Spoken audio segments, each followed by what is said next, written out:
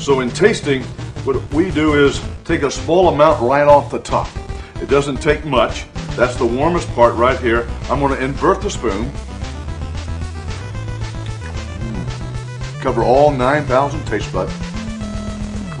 Aerate it. Warm it up.